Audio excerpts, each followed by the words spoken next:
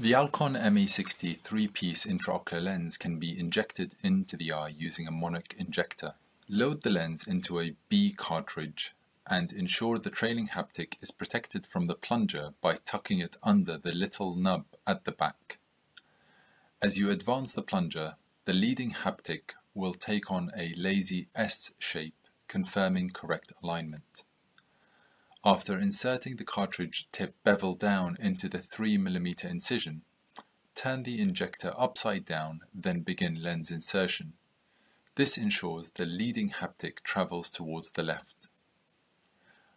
Continue advancing the plunger, and as you do so, rotate the injector slowly back to its bevel down position. Once the optic is in the eye, the trailing haptic can be dialed into position.